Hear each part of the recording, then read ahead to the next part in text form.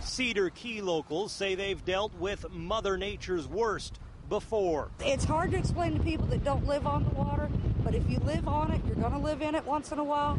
You can see how high this water is. It's crashing over the bank, but people that live around here say they've seen it worse than this.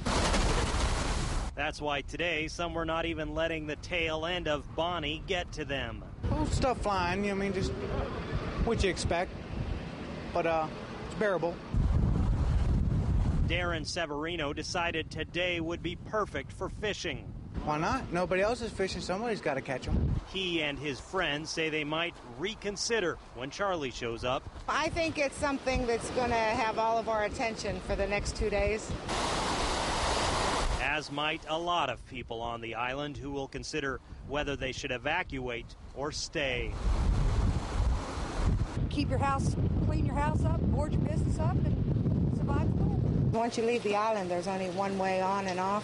That could be another issue if the island's one bridge washes out. When you choose to live by the water, occasionally you're going to live in the water. And earlier today, when Bonnie was passing through, this water line I'm in front of right now was actually right up to the ledge where our camera is sitting at right now, where you're looking at me from. And it was splashing up very high. They expect even worse when Charlie shows up. But as we hear a lot of locals in Cedar Key saying they've seen the worst come to their town before. In Cedar Key, Florida, Scott Johnson, Channel 4 Eyewitness News.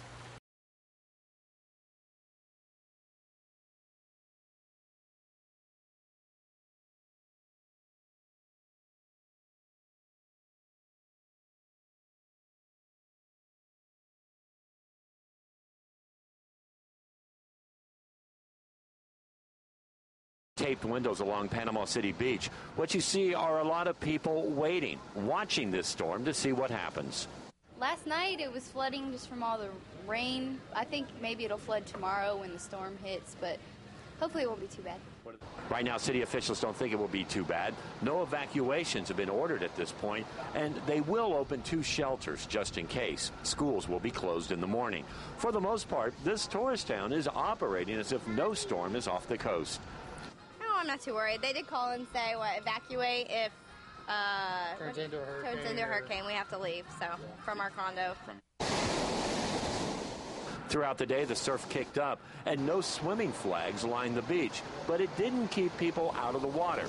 We did talk with lifeguards who say so far it hasn't been bad, but they're watching as the surf continues to grow. It's the first one of the year. We've had a real good summer. This is the first named storm of the year, I think, pretty much for us.